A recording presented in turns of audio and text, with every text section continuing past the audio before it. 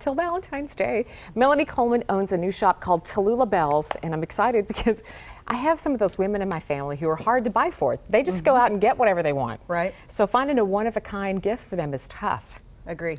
Where's your store? My store is at Park Place, so at 116th and Nall, in the new Park Place Shopping Center. And you you use local artists, artists from all over the country. I do. Other countries. I do. So these are really unique gifts. That's right. There's about 55 artists from around the world. They're predominantly women. There are a few international artists, and there are some male artists as well included in the collection. Everything she brought today is under 100 bucks. Tell us about it.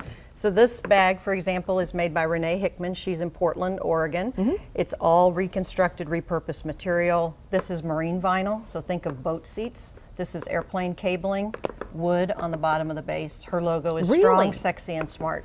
That is too cute. And it's going to be sturdy.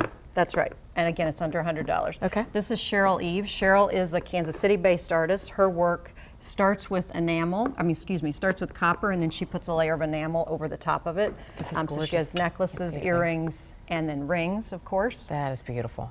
Annie is from Boulder, Colorado. Mm-hmm. She works with women that have suffered domestic violence in Peru, and they construct these belts. There's also handbags. This is actually a bullhorn that's been carved to form the clasp of the belt or the handle of the bag, if I had handbags here as well. Arden is a practicing architect in Delaware.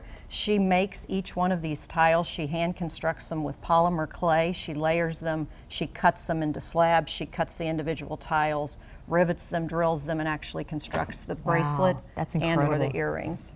Gorgeous. The necklace and earrings from Megan. Megan is from Brooklyn, New York. She actually makes these with fine wire that she wraps in a nylon material. So mm-hmm. it's either silver, bronze, copper, different finishes, very organic pieces. Beautiful.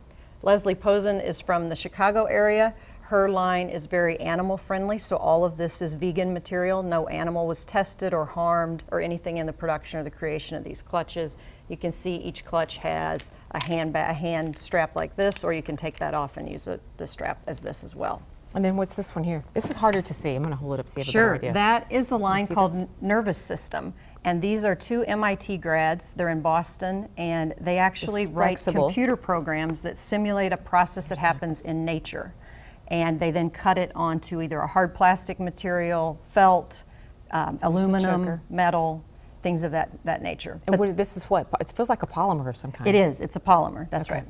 And That's that's, great. A, that's a cuff and that's a necklace. I can't believe these are all under 100 bucks. They are. Nice. And then part of the proceeds you donate to The Women's Foundation of Greater Kansas City, which then puts money back into agencies here in Kansas City working on issues facing women and girls. So great gifts for one of your girlfriends that will help some other girlfriend. Tallulah Bells is in Leawood, and any purchases you make go to help the, these women as well. There's the address and the phone number on your screen. We've also listed it for you on fox4kc.com slash on air. Thank you. Thank you. Thank you. Looking for a family